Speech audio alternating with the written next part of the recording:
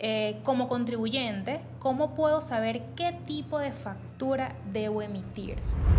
Todos los contribuyentes que no están dentro del artículo 8, de las actividades señaladas en el artículo 8, pueden utilizar un método de facturación, bien sea forma libre o formato. Eso es a elección del contribuyente. Vamos a aclarar, artículo 8 de la Providencia, Administrativa, donde está la, la, serie de actividades que tienen que ser utilizadas exclusivamente o facturadas a través de máquinas okay.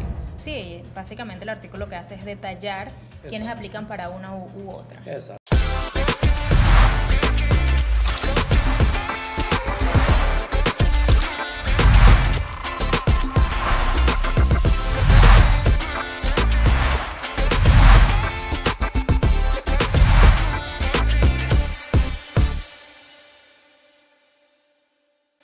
Este podcast es patrocinado por Business Accounting Services, abogados y contadores en un mismo lugar.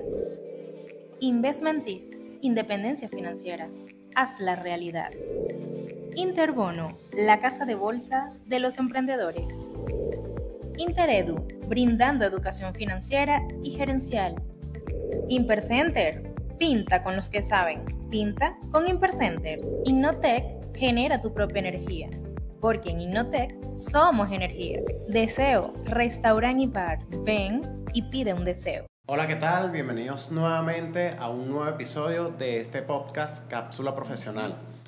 En esta oportunidad nuevamente me encuentro con la licenciada Mercia Aguilar. Para los que no nos conocen, yo soy el licenciado Andy Oropesa, la licenciada Mercia Aguilar. Ambos somos socios directores de Business Accounting Services y hemos creado este formato para compartirles contenido de, de valor. ¿Ok? Ahora bien, en esta oportunidad traemos un invitado especial. Eh, te dejo la palabra a ti para que lo presentes, por favor. Nuevamente bienvenidos a Cápsula Profesional. Como ya es costumbre para nosotros, hoy nos encontramos muy bien acompañados. Eh, vamos a tratar un tema que para algunos suele ser común, pero son muchas de las dudas las que nos llegan a nuestras redes sociales con respecto a este tema. Y qué mejor que tratarlo con eh, el especialista en el área, él es Xavier Vargas, él es licenciado en Contaduría Pública, es ingeniero en sistemas, además es fundador y vicepresidente de la firma Vargas Tarantino Asesores, es fundador de Instituto Integral de Desarrollo Profesional y fundador de cooperación de la Corporación Soltech. Nuevamente, Xavier, bienvenido a Cápsula Profesional. Gracias, Andy, Nancy, por la invitación. Agradecido de estar acá y bueno, y le agradezco también por la iniciativa que tienen a través de este tipo de, programas y de, y de experiencias que dejan eh, un sabor de gratitud ante toda la comunidad, sobre todo los muchachos que están comenzando de, de en, este, en, en esta generación, vamos a llamarla así, de oro de la contaduría pública. Tal cual. No, buenísimo, Sabi. Mira, hoy vamos a hablar sobre la facturación en Venezuela. ¿Ok? Nos vamos a disertar sobre todo, todo lo que es la parte de, de cuáles son las formalidades o quiénes deben facturar, de qué estilo y de qué modo. En esta oportunidad, pues, Javier, vamos a disertar de cuáles son los tipos de facturación que existen en Venezuela actualmente. Bueno, los, los tipos de facturación actualmente son los que están enmarcados en la Providencia Administrativa 0071 como la madre de todas las normas en esta área. Tenemos la forma libre, el formato, máquinas fiscales. También tenemos una provincia administrativa que no se ha entendido mucho, que es la 0032 sobre servicios masivos en especial porque muchos piensan que pueden tener una facturación digital sin saber que en esta provincia administrativa 0032 están los puntos, las claves para poder optar a ese sistema. Pero en general esa sería la, las facturas o, los formatos de facturas actualmente en nuestro país. Ok, tenemos forma libre, factura formato. formato, a través de las máquinas fiscales. Claro. Y a través de sistemas alternativos, que puede ser digital, utilizados mucho por lo que son eh, empresas de servicios masivos como la electricidad, empresas de telecomunicaciones, sí, como Siempre TV, etcétera. Siempre TV, todo ese sistema. Bueno, este tema yo sé que la audiencia lo, lo, va, lo va a amar porque de hecho son muchas las dudas que surgen en cuanto a esto, aun cuando es muy común, porque la mayoría de las personas acá, pues nos vemos obligados a facturar o a recibir facturas. Y lo que queremos en este episodio precisamente son, es aclarar cada una de, de, esas dudas que nos llegan a diario. Otra de las preguntas que tenemos es, eh, como contribuyente, ¿cómo puedo saber qué tipo de factura debo emitir? Ok, bueno, mira. Todos los contribuyentes que no están dentro del artículo 8, de las actividades señaladas en el artículo 8, pueden utilizar un método de facturación, bien sea forma libre o formato. Eso es a elección del contribuyente. Vamos a aclarar, artículo 8 de la Providencia, Administrativa, 0071, donde está la, la, la, serie de actividades que tienen que ser utilizadas exclusivamente o facturadas a través de máquinas fiscales. Ok, sí, básicamente el artículo que hace es detallar quiénes aplican para una u, otra. Exacto, todo lo que está dentro de ese artículo, de esas actividades, son o tienen que tener eh, sin, vamos a decirlo de esa forma, no pueden optar a otro sistema de facturación que no sea la máquina fiscal. La máquina fiscal, excelente. Buenísimo. Eh, ¿Y quiénes no están obligados a emitir factura?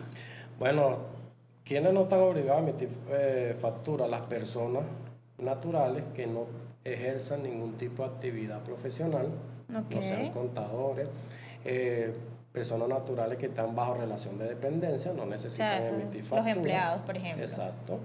Ellos no necesitan emitir factura y que no tengan ingresos superiores a las 1.500 unidades tributarias que es lo que marca la provincia administrativa 071. De resto, toda aquella persona natural o jurídica que genere actividades onerosas enmarcadas en el artículo 3 de la ley de IVA, artículo 5 de la misma ley de IVA y artículo 2 de la provincia administrativa 071, están obligados a emitir factura. Sí, es importante que, que se aclare de esa manera, porque hay personas que creen que, bueno, soy persona natural, no estoy obligado a emitir factura, pero resulta que este, está generando ingresos superiores a, a esas 1.500 unidades tributarias. Y hay que tener presente también el tipo de actividad que está generando la, la persona natural, porque si es una persona, por ejemplo, un abogado, ellos tienen que emitir eh, factura por sus honorarios profesionales. Tomando en cuenta el artículo 8 de la Providencia de las que estamos hablando, específicamente 00071, si vendemos cualquiera de esos productos al mayor, también debo tener impresora o máquina fiscal o ya quedo automáticamente excluido. Mira, eh, para poder responder esa pregunta tienes que analizar muy bien la actividad del cliente. ¿Por qué?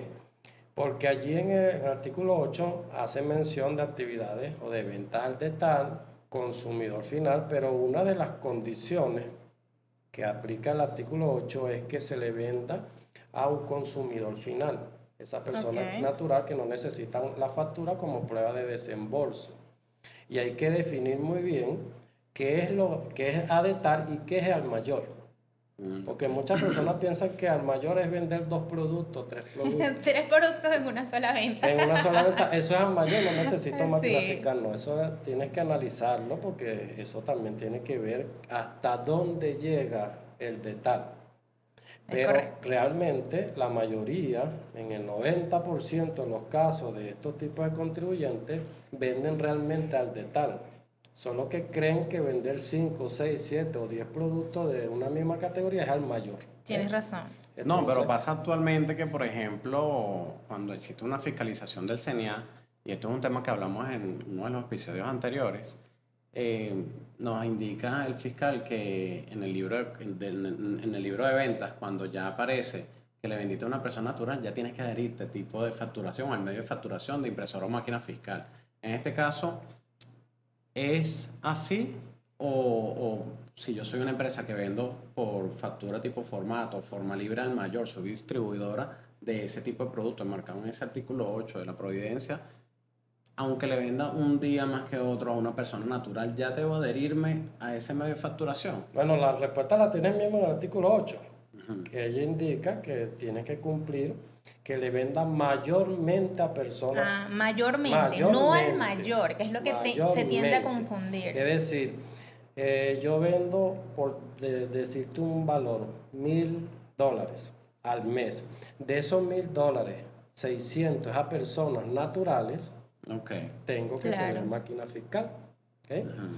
Si yo le vendo eh, al mayor, vendo cualquier producto al mayor, pero le vendo a la persona natural una o dos a la cuaresma y, y todo lo demás eh, productos que vendo es a personas jurídicas, no debería tener máquina fiscal. Por eso que es importante analizar cada cliente, cada, cada contribuyente, para poder tomar una decisión y saber hasta dónde se puede aplicar o no ese artículo.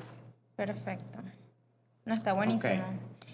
¿Cuál es el uso correcto en este caso de las órdenes de entrega, guías de despacho o, la, o las notas de entrega actualmente? Ya, y quiero hacer un hincapié aquí. Es importante que presten atención porque se confunde mucho la fulana nota de entrega mm. con la que realmente es aceptada por, por lo que sería la administración tributaria. Es correcto. Entonces, presten muy bien, mucho atención en este punto. Primero que una nota de, entrega, comúnmente la llamamos así, pero ella es la orden de, de despacho o guía de despacho, etc. Tiene que cumplir con las formalidades establecidas en, el, en la provincia administrativa 0071. Tiene que estar impresa a través de, de una imprenta autorizada. O sea, que una nota de entrega que sea impresa en hoja blanca. En, en un archivito. Que es lo que comúnmente se ve. O sea, la gente emite notas de entrega a diario impresas en su, en su oficina, en una hoja carta, elaborados por ellos mismos. No, eso tiene que cumplir la, la, lo que establece la provincia 071.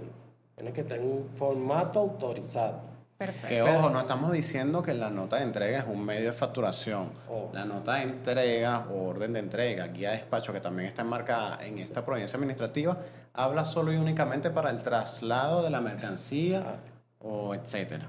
No es, no es un documento que sea fiscal, pero obviamente tiene que estar autorizado por la imprenta, o sea, tiene que ser impreso ese formato por una imprenta autorizada, valga la redundancia, autorizada por el CENIA. Exactamente. Entonces, la nota de, entrega, popularmente llamada así, eh, primero tiene que cumplir lo que establece la 071 y segundo, se debe utilizar solo para el traslado o eh, el movimiento de una mercancía de un sitio a otro que no representa venta, que no representa la venta. Es decir, eh, la nota de entrega no es equivalente a una factura. A la venta, a la factura, exacto. Aunque en el artículo 13 de la ley de IVA nos dice que en el momento en que se emita la factura o se entrega el bien, cuando se realiza la venta o se preste servicio, ya allí nace la obligación tributaria. Lo que ocurra primero, la emisión de la factura o la entrega del, bien o del servicio. Pero, ¿qué puedo yo hacer con una nota de entrega? Bueno, yo hago la nota de entrega, la, eh, estipula dónde va a ser trasladado, dónde va a ser despachado ese producto, pero esa nota de entrega tiene que estar acompañada por la factura fiscal, lógicamente. No como ahora que se ha utilizado la nota de entrega como una factura. Inclusive colocan hasta IVA. Sí, eso, es y, lo más común. Y muchos a veces le preguntan en las redes sociales, ¿yo puedo eh, aprovechar el costo o el crédito fiscal de esa, esa nota de, entrega, no. Porque el artículo 27 de la ley de, impuestos sobre la renta establece que el costo para la mercancía o los productos que van a ser revendidos tiene que ser el que está amparado en la factura. no es la nota de, entrega, el amparado en la factura. Entonces se perjudica el que emite la nota de entrega y perjudica también al comprador porque no se va a poder descontar ese costo. Claro, ya que no, no lo va a poder aprovechar en, el término fiscal como tal. término fiscal. Y otro, otro punto que, que, bueno, que también generó mucha incertidumbre en nuestras redes es el uso de la palabra serie que va precedido en una factura. Okay. ¿Cuándo una factura debe ser precedida por esta palabra y cuándo no? ¿O por qué se lleva a cabo esto? Ok, bueno, mira. Esa respuesta la podemos obtener en, primero en el artículo 10 de la Provincia Administrativa 071 y el artículo 11. En el artículo 10 estipula que las personas, los contribuyentes que tengan que emitir o que estén emitiendo factura por forma libre, lo tendrán que hacer exclusivamente a través de un sistema computarizado. Cuando falla ese sistema computarizado, yo tengo que tener una factura o un talonario de factura, comúnmente llamado contingencia. Pero ¿cómo hago yo para identificar cuál es el, talonario normal y el talonario de, contingencia? de, contingencia? La palabra serie. Okay. La palabra serie. Ojo, que este de contingencia no solo es para, las que, para los que tienen... Máquina fiscal. Exacto. Sino también, para el que utilice el tipo de forma libre, tipo de facturación forma libre. Que tenga un sistema computarizado. no, hacemos énfasis en esta pregunta porque hace poco nos tocó un cliente de Puerto Ordaz y cuando le emitimos, porque ellos se tienen que adherir al medio de facturación de impresora o máquina fiscal, cuando le emitimos los talonarios de, de contingencia, venía la palabra precedida serie, el número de factura. Entonces él nos alegaba que no puedes decir serie porque yo no tengo sucursal y no precisamente, que eso es lo que también quería hablar, no precisamente tiene que decir serie porque sea una sucursal, sino que es la factura para diferenciar una, una contingencia de otro. Obviamente, más adelante, si es que existe una sucursal, puede también eh, agregársele la palabra serie, porque cada sucursal tiene una letra. Sucursal serie A, serie B, dependiendo de cada sucursal que vayan abriendo. Ahí, aquí, por lo menos en Caracas, se puede observar algunos, algunos establecimientos grandes que tienen serie, guion, Caracas y el número de factura porque tiene una sucursal, una principal en Caracas, una en La Guaira. Y le preside la palabra la ciudad. Exactamente. ¿Qué pasa también en el artículo 11 de la provincia administrativa? Aquellos que tengan eh, máquina fiscal como medio de facturación, cuando esa máquina esté inoperante, no pueda eh, ser emitida una factura mediante esa máquina fiscal, se debe utilizar el talonario alternativo, entre comillas, es decir, el de contingencia. Aunque en ese artículo 11 eh, no estipula una palabra serie para aquellos que son los ruteros, los vendedores fuera del establecimiento, se sobreentiende por analogía que se debe tomar para esos vendedores que necesitan un talonario eh, en la calle, que deberían tenerlo. Yo tengo acá un establecimiento de comida rápida dentro del restaurante, come las personas y también eh, le hago el despacho a domicilio. En ese despacho debería tener un talonario de factura para eso. Es muy poco utilizado en Venezuela realmente. Aquí muy poco lo utilizan de esa forma. Sí, sí realmente el uso que vemos que le dan a, a, los talonarios de contingencia generalmente es para cuando la máquina se encuentra inoperante por cualquier motivo. Pero es, para eso, para las máquinas cuando están operantes, pero inoperantes, pero también es para eh, esos vendedores que están en la calle que deben tener una serie para identificar cuál es el que está, porque ellos tienen que tener un talonario de contingencia que es de, eh, eh, tener permanencia en el establecimiento. Y otro que lo va a llevar el vendedor. Claro, porque supongamos que si la actividad económica que se está llevando a cabo eh, se adhiere a ese artículo 8 que debe ser obligatoriamente el uso de máquina fiscal y tienen un vendedor en la calle, entonces este vendedor debería tener su talonario eh, de contingencia. Identificado por esa palabrita seria. Y los usuarios de máquinas fiscales, ¿a partir de cuándo? Porque es una pregunta, mira, yo soy emprendedor y estoy iniciando mi negocio.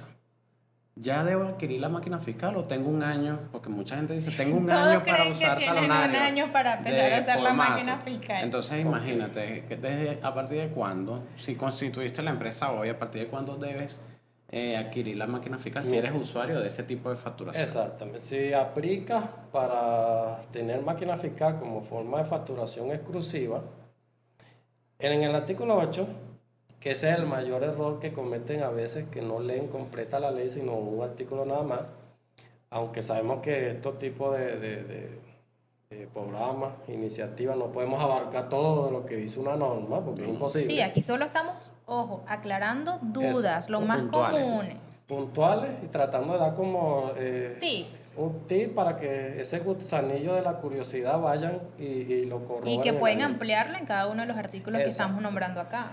Mira, eh, en el artículo 8 estipula que tiene que tener concurrencia de tres circunstancias. Primero, que supere ingresos anuales de 1.500 unidades tributarias. Ahorita esas 1.500 unidades tributarias es irrisorio. Son 13.500 bolívares. Bolívares. A la tasa, o sea, a la fecha que estamos grabando este episodio, la, la unidad tributaria está en 9 bolívares. Exacto. Porque este episodio se va a publicar en las redes y de repente la cambia la unidad tributaria y la gente dice, esa no es. Y si va a salir alguien a decirnos, esa no es la unidad tributaria. Exactamente. Entonces, también tienes que eh, venderle mayormente a consumidor final. Okay. Mayormente. Y tres, que cumpla con las actividades enmarcadas en ese mismo artículo 8, que es una serie larga de, de actividades que sí, son varios literales. Son, son varios literales. Pero la disposición transitoria tercera de esa misma Providencia Administrativa 071 nos estipula que para aquellos contribuyentes que empiecen actividades posterior a la entrada en vigencia de la Providencia Administrativa 071, que recordemos que fue en el año 2011. 8 de noviembre del 2011. Exactamente, todo lo que se constituyan a partir de la entrada en vigencia de ese señor, de, de la Providencia 071, tendrán que cumplir que mayormente le vendan al consumidor final y que cumplan las actividades enmarcadas en el artículo 8, sin importar eh, la cantidad de ingresos obtenidos al año. Es decir, yo me constituyo hoy, empiezo a, realizar mi actividad, ya yo tengo que transmitir de forma inmediata lo que es la adquisición de la máquina fiscal. Claro, que eso no, no, o sea, no tienes un plazo. No hay un plazo establecido, sino a partir de si cumples con estas condiciones, tienes que adherirte a, ese medio de facturación. Y más si yo soy un restaurante, que los restaurantes tienen que comenzar de plano con la máquina fiscal, sin importar ingresos. Claro. Que uno va para una, un restaurante y muchas veces no, ni siquiera le dan un, no le emiten una factura, no le emiten nada. Es solamente un papelito. Aquí sí, tal cual. Y ojo, este tipo de contribuyentes, aparte de comprar la máquina fiscal que es costosa, también tienen que tener los talonarios de contingencia y los talonarios de notas de débito y notas de crédito. Que también tienen que tener. Que tienen que imprimir eh, con una imprenta autorizada, valga la redundancia. ¿Sabe? Ahí hay un punto que, que bueno, es súper, súper, eh, digo yo para mí súper importante porque eh, parece que a diario, o sea, como que nunca hubiese quedado claro el tema de la facturación en divisa. Y es importante que aquí sí te extiendas un poco en esta explicación porque son muchas las dudas que, que nos llegan con respecto a este tema.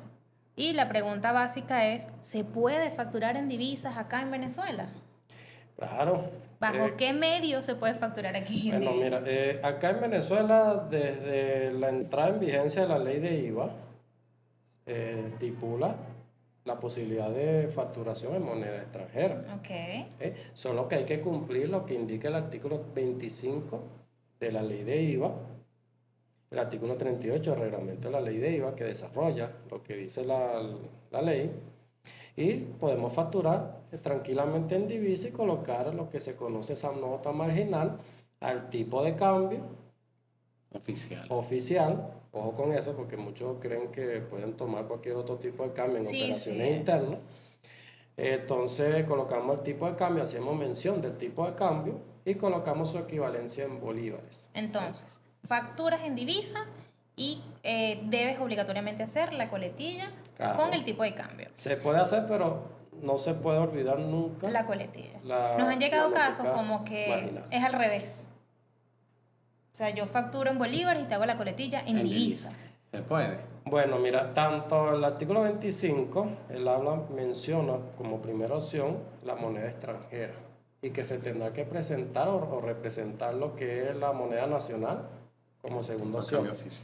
Pero eh, más que todo, eso lo he visto yo en algunos sistemas computarizados que lógicamente están eh, parametrizados, IVA, contabilidad entonces, si yo emito una factura en dólares, aunque coloque la, la coletilla, me pasa la contabilidad, no me hace la, la, la transformación al bolívar.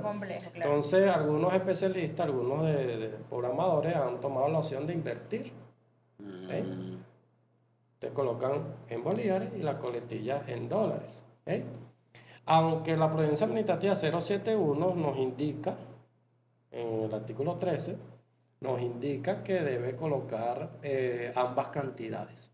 Okay. No nos dan una, una, un formato que si lo puedes colocar aquí arriba, lo puedes colocar aquí abajo. No, ambas cantidades, haciendo indicación al tipo de cambio. Al tipo de cambio del día, de la fecha de la facturación. Exactamente. Pero eso más que todo lo que está sucediendo, igual como las máquinas fiscales. Las máquinas fiscales también deberían eh, emitir facturas. Exacto, ¿qué está pasando allí? Porque normalmente vemos facturas en divisa, pero tipo formato o forma libre. Exacto. ¿Qué pasa con los que emiten o los que se tienen que adherir al medio de facturación de impresora o máquina fiscal? ¿También tienen que reflejar esa coletilla? Eh, por ley está establecido allí, pero ¿qué pasa con ellos? En esta parte es más un impedimento técnico. Recuerden que esos software se han tratado de adaptar a Venezuela, pero no son software creados en Venezuela. Okay. ¿Quién mejor que tú para saber eso? Exactamente, no son software acá realizados en Venezuela, sino acá lo que se ha tratado de modificar en, en gran medida la, la, distribución, como, la, como pasó con el GTF. Sí. Aunque, no, aunque no, es, claro. no, es, materia no de, es del tema, estamos, sí, pronto, pronto hablaremos del IGTF. Pero vean que allí muchas empresas le costó adecuarse. Pegar ese Frankenstein en la, en la factura. Porque no sabían dónde ponerlo. Entonces eso se colocó allí, medio se puso ahí un parapeto. Claro, porque ¿Eh? ahí es importante también este, hablar que el IGTF debe estar plasmado en la factura, aunque es tema de otro capítulo, de otro episodio, pero también debe estar plasmado en la factura, bien sea formato, forma libre o impresora en máquina fiscal. Entonces fue un, una odisea que yo creo que se tardaron aproximadamente tres meses o más en adaptar esa máquina de impresora fiscal para adherir el IGTF. Imagínate este aspecto técnico para adherir el tipo de cambio oficial. Eh, eh, no, lo que sucede, eh, la máquina fiscal te imprime en multimoneda. Yo puedo imprimir en dólares, puedo imprimir en euros. El problema de la máquina fiscal en el software y en el espacio. En el espacio mayormente, yo la complicación. Mayormente es que yo puedo imprimir en, en dólares, pero no puedo colocarle otra parte en bolívares una cosa es multimoneda y otra cosa es tener dos monedas habitando en, una, misma factura. una misma factura. Entonces allí hay más que todo es un impedimento técnico que se ha venido eh, solucionando de esta forma. Por eso que ustedes ven en cualquier en Citymark o mira, te voy a comprar un teléfono, te lo pago en dólares y me emite la factura en bolívar, tipo de cambio o, utilizan el talonario de contingencia para este tipo de. No deberían utilizar talonario Eso también lo hemos visto. en contingencia. ¿Por qué no lo deberían utilizar? Porque la máquina está operante. Eh, eh, la máquina está operante, pero eh, es cierto que no puede emitir una, un parámetro de la moneda, pero yo en lo particular, esa es mi opinión no deberían utilizar la máquina, eh, el talonario de contingencia para emitir una factura. Tan solo para colocar la coletilla. exactamente. ¿Y cuándo se puede aprovechar una factura emitida en el extranjero? Bueno, si es bienes o si es los bienes, cuando pase por la aduana. Nacionalización. Hay que dejar eso claro, sí, nacionalizado. Tenemos el sistema de eh, courier, pero ya eso es algo eh, que realmente no es tan vamos a decirlo de esta forma, no es tan, tan eh, legal porque eso es más que todo para traerse una, una mercancía o traer algo muy pequeño. Consumo propio. Consumo propio. o sea, no es para el comercio. Ahora yo, yo me, si me traigo una mercancía porque voy a vender 100, 200 computadoras, eso tiene que pasar por aduana. Claro. Nacionalizar yo lo meto por otro lado, se podría... Eh, y una vez que pase por aduana es que procedes exactamente, a aprovecharte esas facturas. Mi DUA, eh, X, Y, Z, y ahí por allí ya yo puedo eh, aprovechar mis créditos fiscales, puedo aprovechar los, el impuesto pagado en aduana, etc. porque lo nacionalicé. Claro. En el caso de la exportación de servicios, eso tema un poquito también bastante... Complejo. complejo. Sí, sí lo es. Pero el responsable es el receptor de servicio. El responsable es el receptor de servicio y lo que dice la, el, reglamento de la ley de IVA, la factura propia. Emitir una, una factura propia para poder reconocer ese IVA que no es... Eh, que el, que te está prestando el servicio no está domiciliado en Venezuela, no lo puede eh, honrar o pagar, entonces ¿quién es el responsable? Yo como receptor de ese, ese, servicio. Pero como les comenté... Claro, porque el servicio no se puede nacionalizar, entonces ese método es el que se tiene que hacer para ese tipo de, ese caso. Exactamente. Pero esos casos, como yo siempre lo he, lo he dicho, que a veces me lo preguntan mucho por redes sociales, yo puedo dar eh, eh, este planteamiento de forma eh, ligera, pero no se puede dar una asesoría sin conocer el caso de la persona, porque a veces, lamentablemente, una persona hace una pregunta, no entendió el procedimiento, no, no sabe si el, el, el, que está prestando el servicio está o no está dentro de, de nuestro país, entonces uno no le puede decir eh, con claridad a través de una pregunta por redes sociales, mira, eh, aplica tal procedimiento, porque como es un procedimiento errado, porque no, no tenemos todos los elementos para poder identificar qué tipo de servicio él está recibiendo. Que de hecho nos pasó reciente, Andy explicaba en redes que bueno, que, que el tema de, de, de, traerse la mercancía puerta a puerta no era un tema legal, que había que pasar por aduana, y bueno, eso creó cualquier cantidad de controversias porque la gente confunde esto de que, bueno, pero es que yo tengo una empresa que se encarga de esto, de traerme la mercancía y por ende ya está nacionalizado. Y la verdad es que no es así. Ah, claro. Entonces siempre, esos son casos que se tienen que analizar de forma muy detallada. Y lamentablemente ahorita en las redes sociales muchos de, nuestros seguidores eh, nos ven como, vamos a decirlo de esa forma, quizás suena un poco duro, pero a veces se enfocan solo en los consejos, los tips, como que si eso fuera una asesoría. Sí, hay que eso es algo general. Que es un, digamos, un contenido muy generalizado, no, no es una asesoría. Para una asesoría, como yo siempre le he dicho y le he hecho broma por las redes, váyanse hacia, nuestra oficina. No, no, igualmente, porque por lo menos yo, no soy abogado. Conozco la, la, ley, las leyes porque me, he tenido que contratar abogados que me aclaren o que me hagan el proceso de asesoría. Pero a veces un contador, un economista o un asesor fiscal también tiene que eh, contratar los servicios de un abogado. Porque hay, hay, cosas que como, como asesor o contadores no vamos a saber manejar. Ojo, y que como contadores al ver cada uno de los casos que se nos presentan, podemos ser contadores los dos, pero cada uno puede tener una opinión distinta.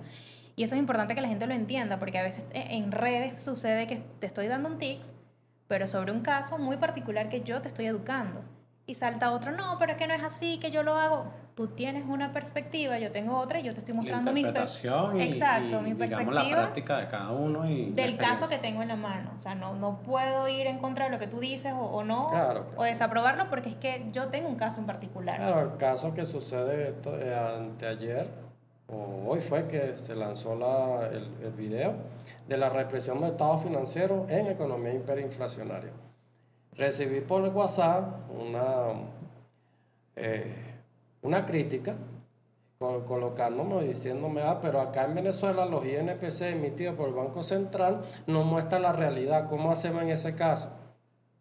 Y bueno, yo te estoy hablando que aquí tienes que represar los estados financieros, que generalmente esos INPC lo emite el Banco Central para la represión y tú lo usas pero si no estás satisfecho del resultado que te dio por esos INPC, bueno, contrata una empresa que te haga un, un, un estudio de mercado y busques unos INPC más adecuados. Claro. ¿Eh?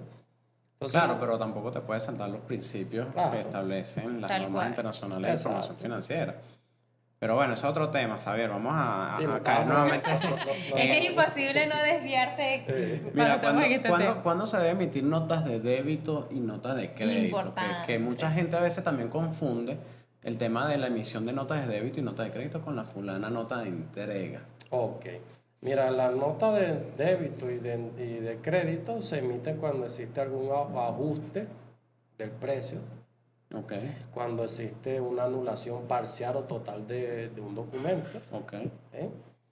Eh, cuando existe artículo 51 del reglamento de la ley de IVA, ajuste de precio por variaciones de tasa de cambio. Tipo de cambio. Tipo de cambio. Que es el más común ahorita. Las mayorías de las notas de débito que yo he visto en la oficina es por variación en el tipo de cambio. Cuando son empresas que venden a crédito más que todo o prestan servicios que también son cobrados por anticipos. Entonces, cuando varía el tipo de cambio, es que se emite la nota de débito. Y que, y que, hay que dejar claro que tanto la nota de débito como la nota de crédito eh, O sea, es de uso de, independientemente del medio de facturación. O sea, todas las pueden usar. Exacto. Bueno, todas las deben Y que tiene que estar debidamente impreso en los formatos autorizados por el CNIA. En caso de, la, de las máquinas fiscales, hay algunas máquinas fiscales que te pueden emitir una nota de crédito, pero otras no. En el caso que no la puedan emitir, ellos tienen que tener igualmente su talonario, de nota de crédito. De nota de crédito y de notas de débito. Para esos casos.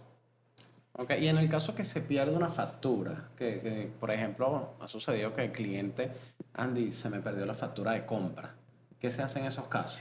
Bueno, mira, el artículo 43 de la Provincia Administrativa 071, si no me falla la memoria, que sea el número 43, pero creo que con tantos Y si no, por ahí cualquiera nos hace un comentario, es el número tal. Mira, no, se equivocó, no es el 43 tal, pero creo que estoy casi seguro. Nosotros igual lo ponemos acá en el, en el copy, tranquilo. Bueno, ¿qué tipo eh, yo puedo certificar la copia de una factura? Ok. Pero esa certificación no puede hacerse a la ligera.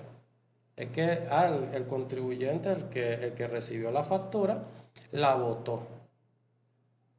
Tiene que ser una causa que no sea imputable a la responsabilidad del receptor de esa factura. Mm. Es decir, el muchacho eh, lamentablemente eh, se le dio la factura, se fue hacia su casa, lo asaltaron, le quitaron el maletín, se llenaron todos los documentos. Eso es una causa no imputable al receptor de la factura. Pero si yo le emito la factura a, ese, a ese cliente y él por irresponsabilidad la botó, la metió en el carro, se le rompió, ya esa es su responsabilidad. Yo no le puedo eh, certificar eh, una copia por algo que está bajo su responsabilidad. ¿Quién certifica esa copia? La certifica el emisor de la, de la factura. Si yo, si yo te generé una factura de, de venta, o sea, de mis servicios, y tú la pierdes, yo certifico que te la entregué y te entrego una copia. Me entrega la, la segunda copia. La copia que dice esa sin derecho a crédito yo la puedo certificar. Pero esa certificación ¿eh? debe estar amparada por una carta de posición de motivos donde el receptor de la misma emita bajo fe de juramento la circunstancia por la cual eh, perdió esa factura, que no sean imputables a él. ¿Por qué? Porque eso trae implicaciones legales. ¿eh? Totalmente. Porque puede ser que yo aquí te, te certifique tu factura, eh, vaya la persona, el receptor de la misma, se aprovecha su crédito fiscal, pero alguien por allí en la calle se consiguió esa factura. Bueno, pero igual no tendría, o sea, no está dirigida a ese otro que se le encontró. Sí, exactamente, pero... No, pero en un reparo te pueden pechar esa, ese costo o ese gasto si te aprovechaste un crédito y no tienes el físico. Sí, o sea, eso es lo que me genera incertidumbre, preocupación. ¿Cómo le explicas al fiscal? Eh, mira, yo perdí la factura y aquí tengo una certificación de la copia. De la copia, pero tú tienes que tener la carta de posición de motivo de la circunstancia por la cual fue perdida. Ok. Esa, esa factura, ¿ok? O sea, esa, esa certificación no es que la voy a llevar al CNIA, mira, esto me ocurrió, me entregaron una certificación. No, eso se lo entregas tú directamente a, al receptor. Perfecto. Lo que sí, lo que yo he recomendado siempre, que si te roban la factura como, y otra persona se la puede conseguir por otro lado, ponga la denuncia. Sí, ahorita todo, es, todo, hay que denunciarlo, todo. No, y tú sabes que antes cuando existía en las noticias en, en papel, en periódico, sí, cuando este, yo veía muchas facturas publicadas. ¿Eso se debe a qué? Me imagino que de ratas y publicaban las facturas, ¿te acuerdas? No sé si te, te acuerdas en la parte de los clasificados él se debe acordar más que nosotros por los sí, años. Sí, pues sabía, no me dejes mal. Tú eres un poquito más viejo que yo. Un poquito bastante. Realmente no me acuerdo haberla visto en, en lo clasificado. ¿okay? Yo antes no veía muchos clasificados. Pero, como te comenté, si a mí me roban la factura, yo tengo que ir a esa ICPC a poner la denuncia. ¿Por qué? Porque se han visto muchos casos que personas toman una factura de cualquier cliente, tiene un amigo en una imprenta o en otra imprenta y te hacen un talonario y venden esos talonarios. Qué delicado. Eh, que son fraudulentos para rebajar. Y ese es tu soporte de que tú hiciste la denuncia. Mira, yo hice la denuncia, ¿por qué? Porque, eh, ¿qué sucede en esos casos? Yo tengo que dar una constancia de que, mira, a mí me robaron una, una factura que provenía del talonario tal y ahora resulta que por allí hay unos locos de carretera teniendo unos talonarios de mi empresa. Wow, no, lo importante de hacer la denuncia. Eso es, que, eso, eso es lo que yo... Sí, sucede igual como los, los libros, ¿no? Nosotros también teníamos un caso particular en estos días. Sí, los libros legales, no, se pierde cualquier información No entra en el tema, pero también se debe hacer denuncia porque quien tenga, el, por lo menos el libro accionista, en posesión y se firme ahí unas acciones, ya tiene posesión de las acciones de la empresa. Exactamente, ¿no? Y, y, lógicamente también eh, hay que proteger la, la, integridad de ese accionista. Totalmente. Porque tú no sabes qué información pueden ellos eh, ver allí en ese libro donde puedan eh, secuestrar a, a, la persona, etcétera, porque hay muchas cosas que actualmente uno tiene que tener mucho cuidado. No, y que la gente se toma muchas cosas a la ligera. Ay, perdí una factura, ¿qué tanto? No, exactamente, pero lo que no saben es que tú pierdes una factura y no, no le pides al proveedor que te la certifique porque la perdiste por, por causas que no son imputables a ti, eh, o lamentablemente llovió ese día y bueno, se te mojó y la perdiste, se te fue por, por, la calle, se perdió, bueno, certifícame, mira, yo te explico los motivos por el cual, no es mi responsabilidad, pero yo necesito esa factura certificada para poder aprovecharme mi crédito fiscal y poder, y poder aprovecharme mi costo. No, y de esa manera también informas a, esa persona de que, bueno, una factura tuya anda por ahí rodando. Eh, pues no, que mira, me la robaron, se perdió, pero ten cuidado, yo puse la denuncia, pero claro, tienes que tener mucho cuidado sobre eso. Y con respecto a la facturación por cuenta de terceros. Es un tema que no, no, se escucha poco, pero, pero existe. Bueno, es un tema bastante amplio, ¿eh? pero es en palabras coloquial podemos decir que yo te solicito a ti que me prestes tu factura y, me y factures un servicio, porque quizá en ese momento yo me quedé sin talonario. Mira, factúrame allí, dame la segunda, el favor, facturámelo por cuenta de tercero. ¿eh? Pero siempre como lo, lo he indicado, ese, el procedimiento eh, hay que leerlo siempre en el artículo 10 de la ley de IVA. ¿Eh? donde está la facturación por, cuenta, de tercero, cómo es el procedimiento. Eh, allí también existen eh, qué tipo de, entidad o qué tipo de servicio se puede facturar por cuenta de tercero, tercero aseguradoras, etcétera. Eh, también están la, lo que son las agencias de viaje, que también facturan por cuenta de terceros. Sí, todo el aprovechamiento del IVA, quien asume el IVA. exactamente. eso ese, ese, es un sistema, eso es un, un, tema bastante amplio de cuentas por tercero, porque hay cosas en la ley que se tienen que, que analizar bien a la empresa, ¿ok?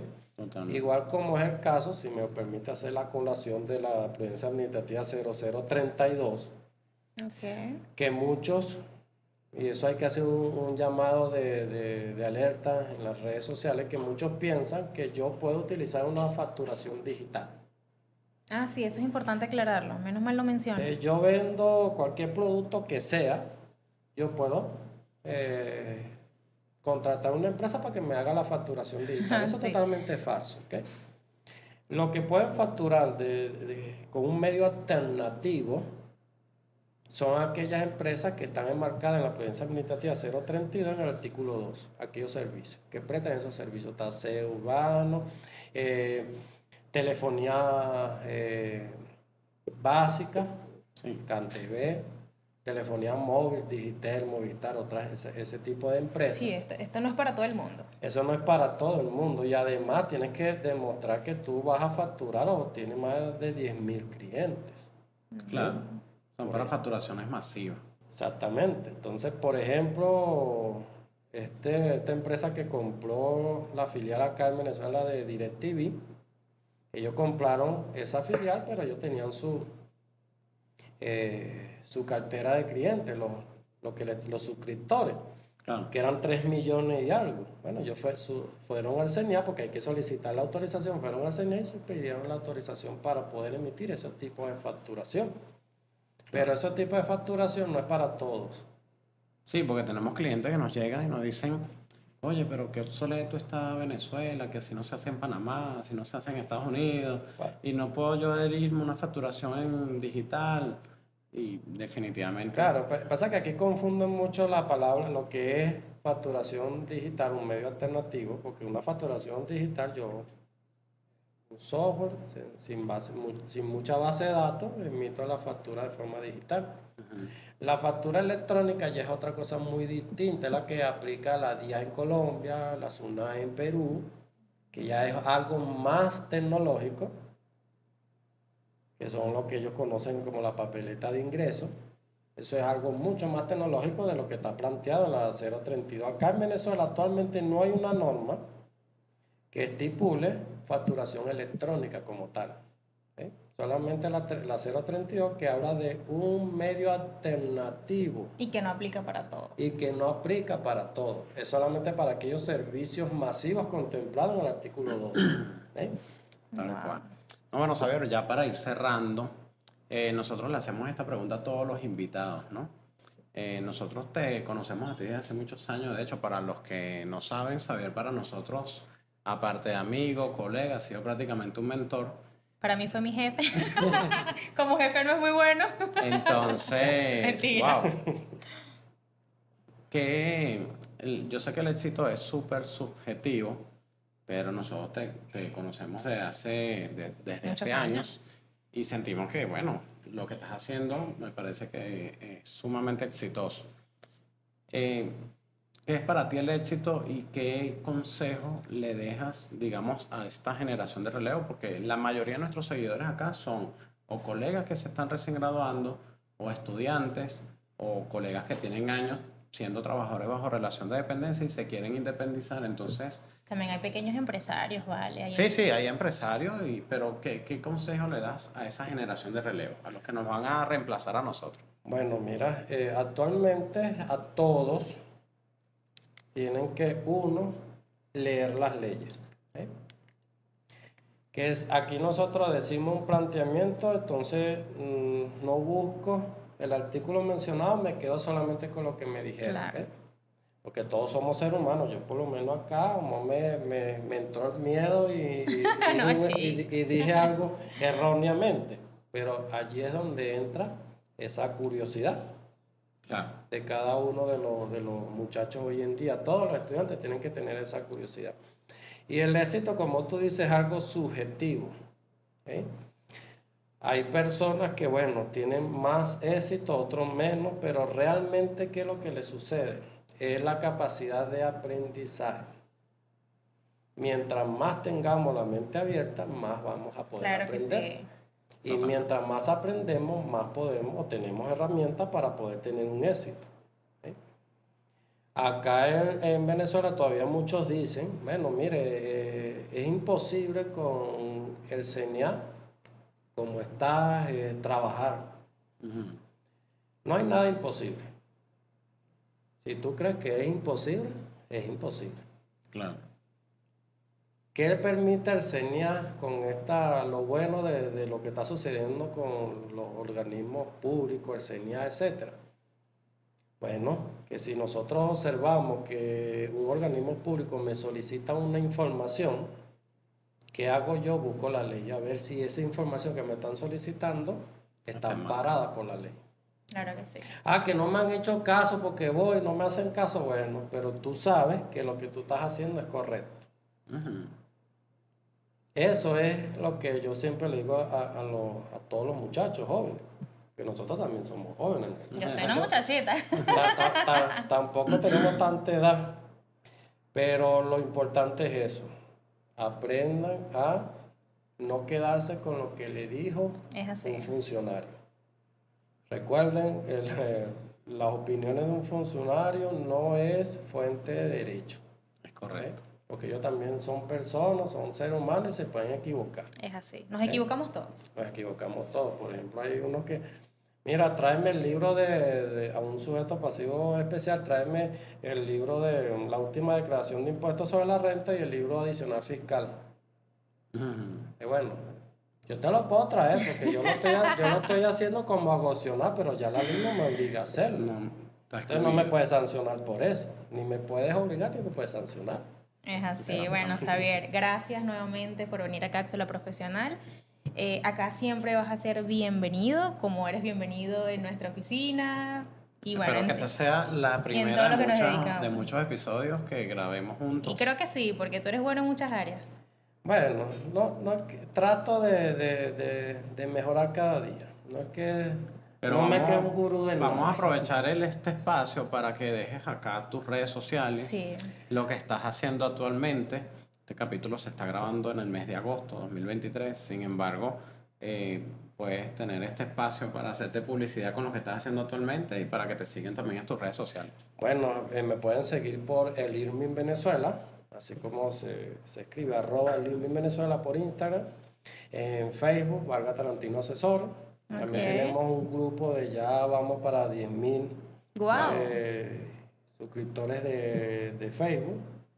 ¿Cómo se llama el grupo? Eh, en defensa de la profesión del CPC. Yo creo que todos, ya muchos de nuestros seguidores la deben conocer. Sí, pues, también lo tenemos por, por Telegram con el mismo nombre y por WhatsApp con el mismo nombre. Perfecto. ¿Eh? Eh, quiero ampliar un poco para TikTok, pero todavía no me ha dado el, tiempo, pero es que es para fuerte. poder ampliar TikTok. Pero también TikTok lo pueden conseguir como arroba el Venezuela, igual como está en Instagram. Así es, no dejen de seguirlo, es muy bueno, da muy buenos tips, es muy bueno también educando. Y bueno, si el, este episodio te pareció que, que fue excelente o te, agregó valor en Te agregó valor, no dejes de suscribirte, darle like y compartirlo para que llegue a muchas más personas y por supuesto pues pueda nutrirse de toda la información que acá, que acá compartimos. hasta vale, pues nos vemos hasta una próxima entrega. Hasta, luego.